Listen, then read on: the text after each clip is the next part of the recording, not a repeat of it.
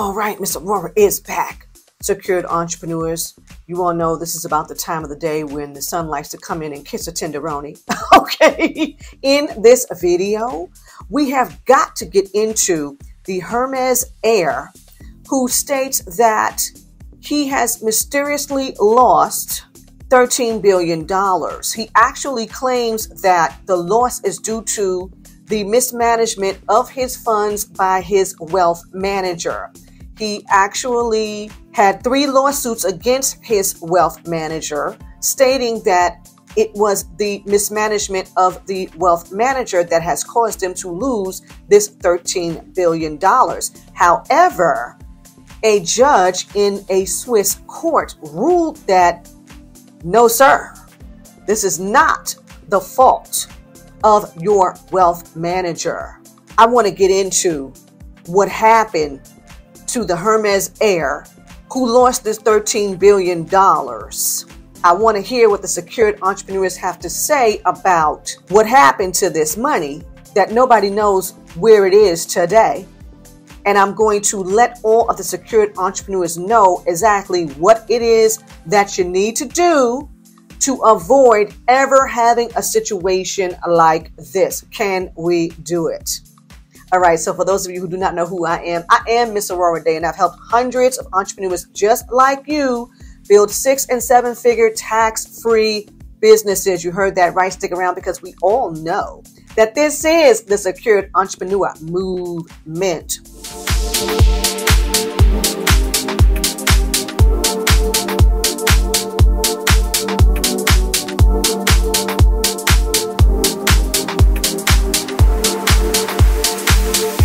Entrepreneurs, here it is. Hermes heirs 13 billion fortune has seemingly vanished after he vowed to award huge chunk to his gardener. Let's talk about how suspicious that is already. The multi billion dollar fortune belonging to the reclusive Hermes heir was seemingly has seemingly vanished months after he promised to donate a large chunk of his colossal inheritance to his gardener. Nicolas Puech, 81, the largest individual shareholder of the French fashion house, was told by a Swiss court on July 12 that his wealth manager, Eric Freymond, cannot be held responsible for the missing 13 billion fortune after he was entrusted with keeping track of the enormous treasure chest, Bloomberg reported. The decision was handed down after Puech's lawyers claimed that their client no longer owned about 6 million shares of Hermes stock, which made up the majority of his massive fortune. The court also found no evidence was presented that his financial advisor mismanaged any of his wealth and said the so called black sheep of the wealthy family, Puech, was not the victim of a gigantic fraud over 24 years, during which time at least some of the stock was sold. The Swiss court ruled that Puech's blind trust in Freymond, basically, he trusted him blindly, right? Who had complete control over his bank account does not indicate that the wealth manager duped his client, according to Bloomberg. The court's final ruling was that Puech willingly turned over management of his wealth to Freymond, whom he hired in 1998, Bloomberg reported. Puech ended Freymond's control over his vast wealth in October 2022 and set out to take stock of his fortune and organize his succession according to the Swiss court. A year later, the fashion house heir filed three cases against Freymond. The first alleging the wealth manager withheld information and wouldn't and couldn't return the Hermes shares, according to the outlet. The other two cases are related to the management of his foundation, loans, and I was wondering, you know, why would he need loans? I, you know, I was wondering about that. And other investments he claimed Freymond oversaw. The heir's missing fortune is part of the fallout from the Louis Vuitton owner Bernard Bernard Arnault's attempt to take over Hermes with Puech's help in the early 2010s. Now, how many of the secured entrepreneurs know that Bernard Arnault, they say is worth 187 billion. and he has recently lost 20 billion. He has recently lost 20 billion dollars, but they say he is worth 187 billion. So just imagine that. Just imagine that. You, you know, you're almost you, 187 billion, you lose 20 billion. Are you upset about it? Are you butthurt about it? Are you distraught? Do you want to fight somebody? Do you want to send three Doberman pinschers to somebody's door? I don't know. Comment below. Secured entrepreneurs, let Miss Aurorah know. You know, how do you feel about that? 187 billion, but you lose 20 billion. How affected are you? Do you do you care that much? Are you gonna eat an ice cream sandwich and call it a day of business? You're gonna take a few laps in your swimming pool, pet your cat, feed a bird? What are you gonna do? Huh. The attempted hostile takeover left Pooch a family outcast for his alleged involvement in helping Arnault steadily rack up a stake in the company. It resulted in Arnault unwinding his 23% holding in the company and Pooch being pushed out of the Hermes supervisory board, according to Bloomberg. He resigned because he felt, he resigned because he has felt for several years beleaguered by members of his family who have attacked him on several fronts, not only regarding LVMH, stated a spokesperson for Pooch at the time. The whereabouts of his stock from the fallout remain a mystery. Interesting, isn't it? Pooch was said to have owned a 5.7% stake in Hermes part of the more than two thirds of the luxury goods maker still owned by the founding family. Now, this is what we're talking about secured entrepreneurs' legacy wealth. Legacy wealth. This brand is still owned by the founding family. And I think I think that Pooch himself is fifth generation, and I think they're going to tell us here in the article. He's fifth generation and he's 81 years old. He's childless. But check, but here's the part. Here's the part. Okay, the company is valued at 220 billion. And then I just say that Bernard Arnault, they say is worth 187 billion. They say this company is worth 220 billion. Very interesting. Here we go. The news of the missing fortune comes after Pooch, a reportedly childless recluse. Now, I don't have any problem with him being childless or, or reclusive. Okay, I really don't. Living in Switzerland hired a formidable legal team last year to formalize the gardener's adoption. Now, when I read this, I was like, adoption now, is this a child? Is this a minor? Um, or are they saying adoption to, you know, his trust? But you know, you know, that wasn't clear to me. And revise his estate arrangements so that they didn't make that clear as to as to what type of adoption they were referring to there. Okay. Not much is known about the heir's ties to the unidentified gardener and handyman. He's the gardener and handyman. So he's old enough to be the gardener and handyman. So, boy, I wish they would have given some clarity on that uh, adoption or how long he has worked for the fifth generation descendant of Hermes founder Thierry Hermes.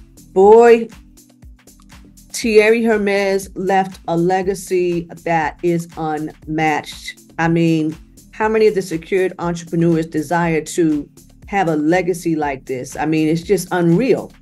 This unorthodox move to pass on his immense wealth and real estate properties.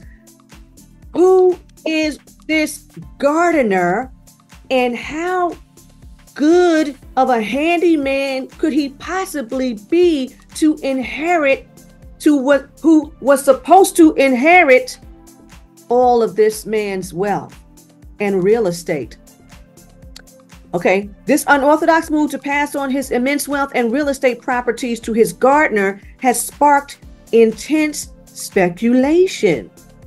Okay, here we go. Here we go.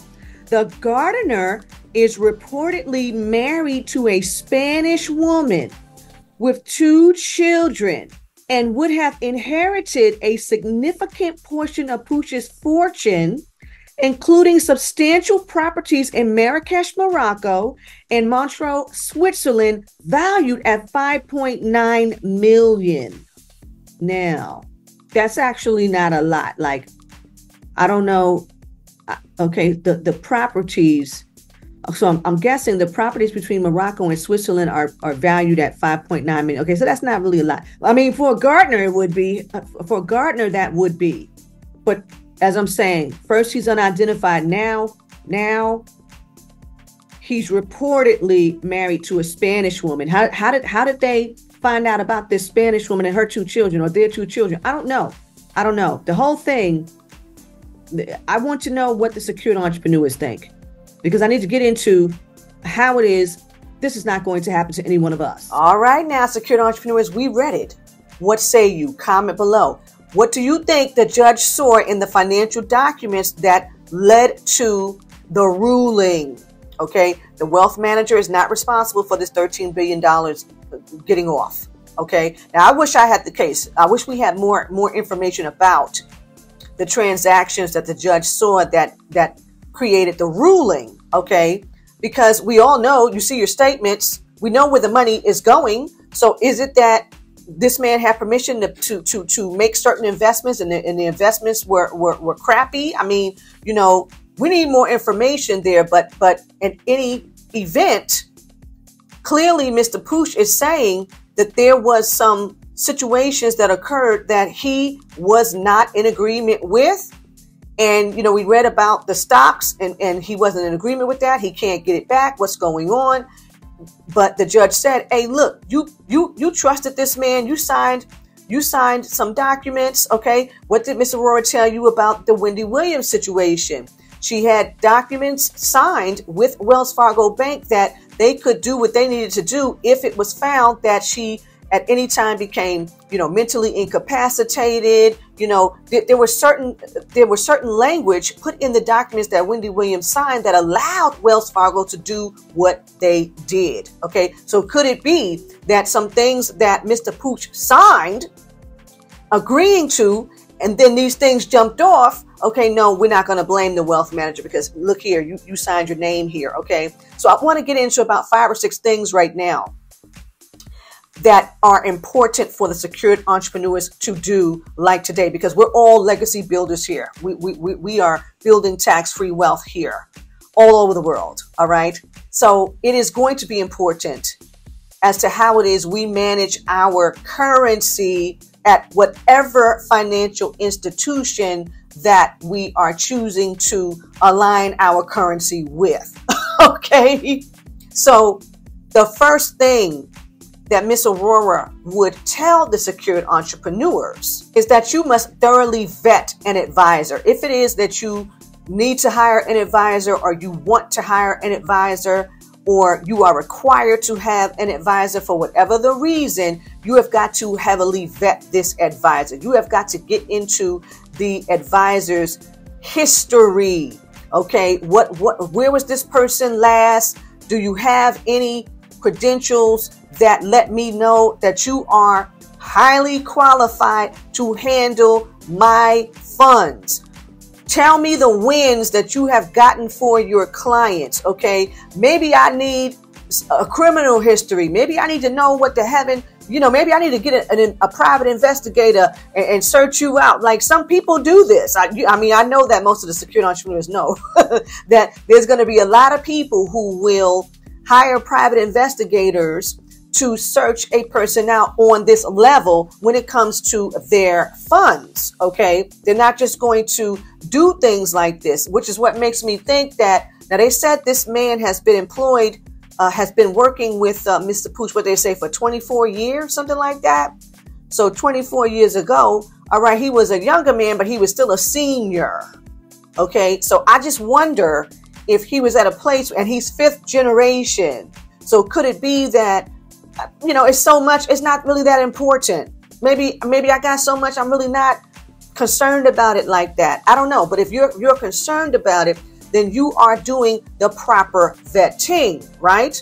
The second thing that Ms. Aurorah is going to tell the secured entrepreneurs is that you have got to be aware of what legal documents you are signing. You've got to understand your legal agreements. Okay, now a lot of it is legalese. We do know that.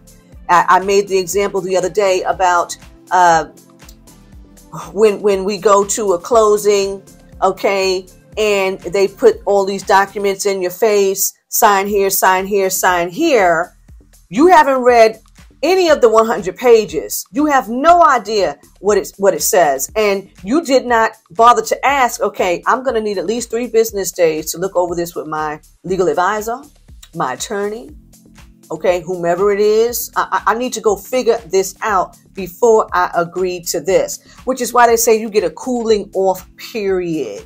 Okay, but this is after you have signed your life away. Then it's up to you to say, okay, let me take all these documents I just signed, sitting up here signing, you know, and then if I find that, oh, I don't agree with this, I, I can go back and cancel this whole thing because I have cooled off. what a farce. You need to understand your legal agreements way before you get to some cooling off period. Okay, so that's the second thing. Understand your legal agreements. Understand what it is that you are signing. And, and the way you're going to do that is you're actually going to read. I can't tell you how many people tell me, well, I, you know, I actually didn't read the documents that you sent over. I actually, I just signed it. You see? And that's what society has expected of people. You know, when you go to court, and, and, and they, they flash these papers before you when they want you to come back or whatever. They don't expect you to stand there and start reading that thing. And as a matter of fact, I've seen them rush people who tried to read it. Just sign your name.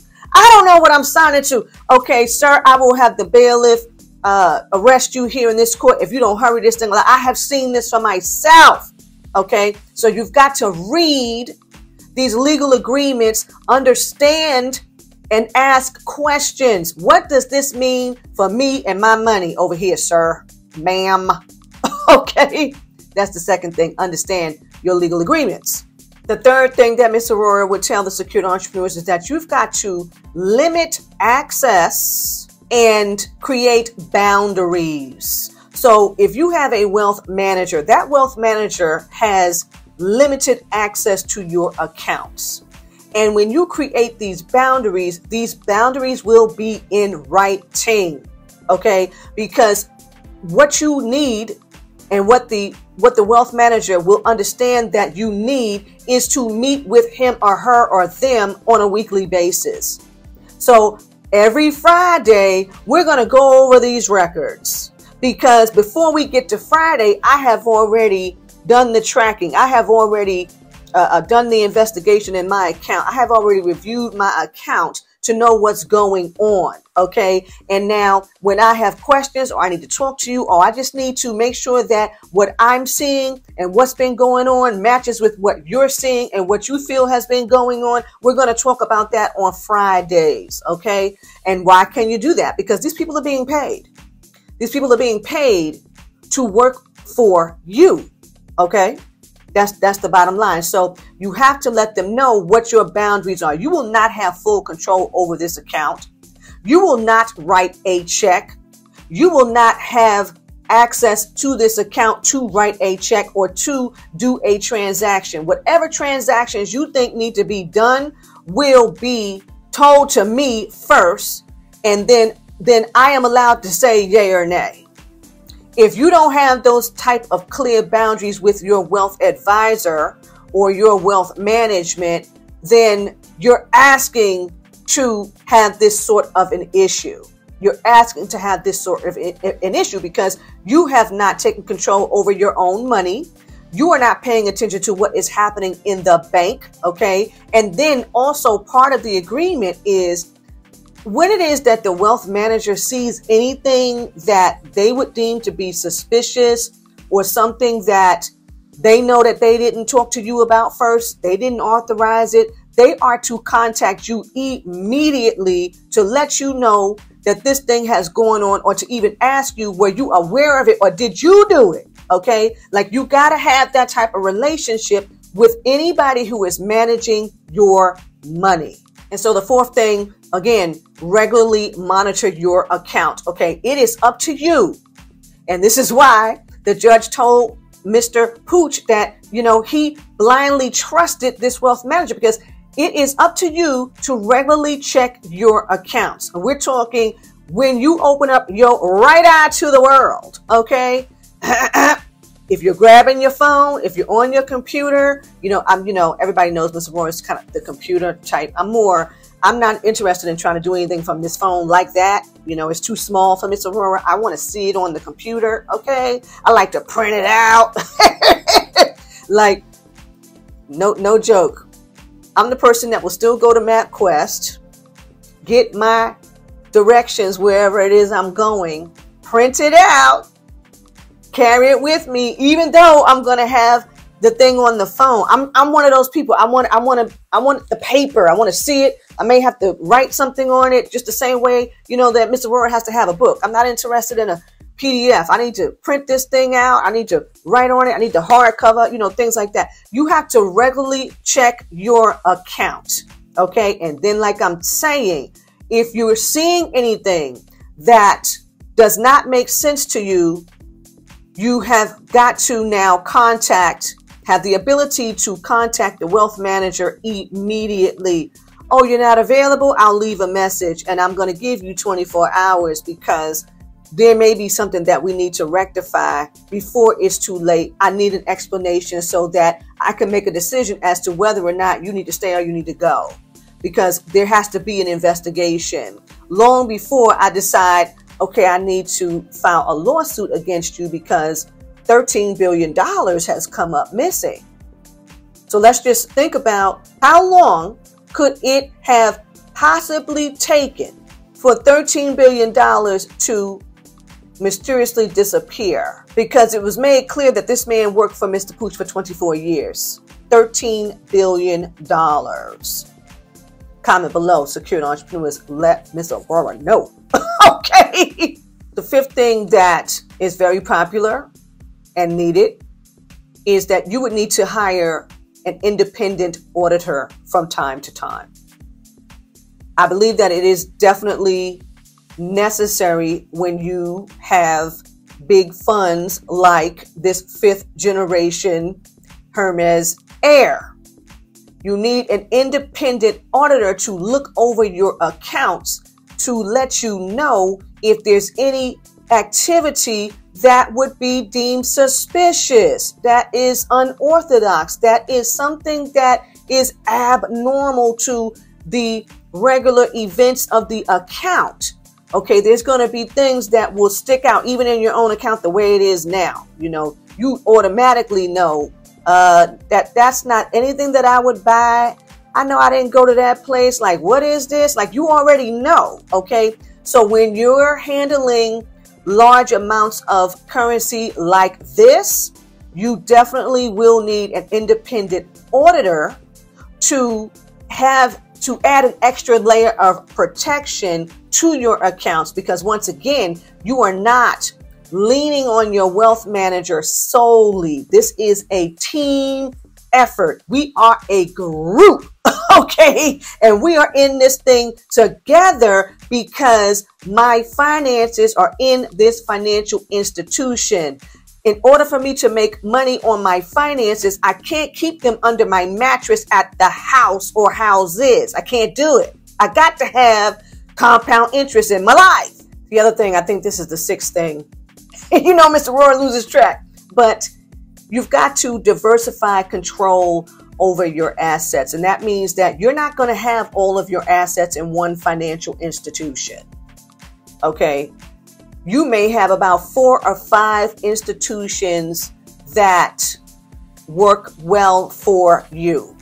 Okay. You like that maybe they don't have any fees or maybe they have low fees, little to none or zero fees. You know what I'm saying? Maybe you like the philosophy of the financial institution. Maybe you appreciate some of the financial products that the financial institution has to offer you. But either way, you are diversifying the control because maybe you've got you've got and I'm talking financial institutions not in the same country, you know, you know, you may have you, you know, okay, we'll use United States. You got a financial institution here in the United States, you got a financial institution there in Switzerland, you got a financial institution in the Middle East. You know what I'm saying? Like you you are diversifying the control and you are in places where it's easy for you to communicate with the representatives that are handling your finances at these financial institutions and that's very uh, important because we have we have had some clients here that were under some people who advised them to go to a certain place but as we know because we know we know this when we call places and this is not to offend anyone, okay? We're all adults on this channel, but we all know that here in the United States, if you call for customer service, you more than likely are going to get somebody in maybe the Philippines, maybe Cambodia, maybe India, and the, the accent is so thick, it is very hard. It is very hard to communicate, you know. Uh, one time I had to call up Amazon and I think it was, it, I think they weren't, Somebody was African. It was a couple of African people. And I was like, now, the accent was so thick uh, that it was very hard. And the lady just said, "Well, I'm gonna I'm gonna send you an email." I said, "Please do," because I don't even understand what you're saying, ma'am. okay, so that's another thing that when it is you are on this level, you've got to be in places where it's easy for you to communicate with the representatives at the financial institutions. You don't want to you don't want to take you know you don't want to be ill advised by people who they're not really they don't really have an interest in what's best for you. This is something that probably is helping to line their own pocket so you want to consistently be aware of that. So diversifying the control as it relates to your monies and the people who can manage the monies and the places all right? You, you, that's another layer of protection for you. And then again same rules would apply. You would be meeting with these wealth advisors, these wealth managers on a consistent basis. You will have access to these individuals when it is you are going over your own books, okay? And if you find that something doesn't look right, you have the ability to connect with these individuals and discuss these things immediately. And then the last thing Mr. Aurorah would say, and I think this is seven. I said five or six, but we ended up on seven because I have to say this you have got to educate yourself.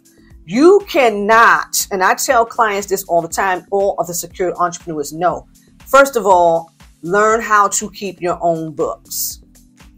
All of this, oh, I have a bookkeeper. Oh, I have an accountant. Oh, I have a CPA. See that that people think that that it sounds sexy. See that sounds sexy to people. And then you hear all these celebrity people come out and wealthy people come out and say, oh no, I was robbed by my accountant. Oh no, my CPA robbed me for seven years. I didn't even know it. See, and, and Mr. Pooch is telling us that he'd been with this man for 24 years. And $13 billion mysteriously got up and, and left. Okay? So if you don't educate yourself, if you don't learn how to keep the books for yourself at the very beginning, it's going to be that much harder when it is you are banking in financial institutions where your money is now earning money. Okay.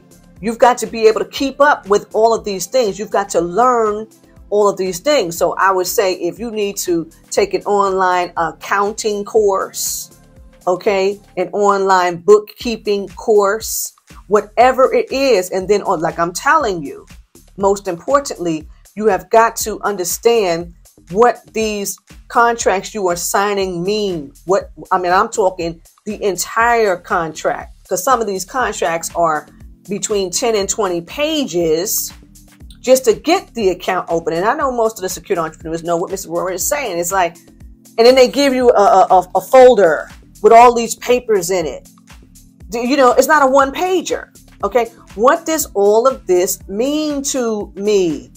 So when I come in today, I'm not coming in today to, to, do, to, to do business with you. I'm coming in today to get the documents that I need so that I can read about what it is you're going to have me signing while my money is in here and what's going to be going on in here. Then I'll make then I'll make an informed decision. That's how that should go. right? Or you ask for those documents, you know, to be emailed to you because we're not in a time where you got to walk in anymore. You need to send a representative. And if, hey, look, can we get an email of, of, of all the things that we would be asked to sign for an account? And sometimes they'll be like, well, you know, those are not printed until we actually begin to open the account. Uh, you know, they'll, they'll try to play you like that.